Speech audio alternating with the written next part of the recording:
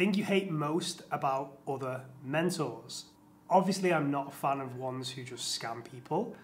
Um, I'm not a fan of ones who threaten like debt collection or legal uh, action against trainers and coaches who just want to leave their program.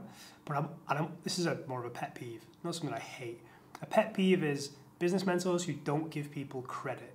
Um, and this is something I've experienced. Like we've had 30, 40 plus students or graduates of OFB go on to be business mentors. So few of them give credit to me when teaching my stuff to other people.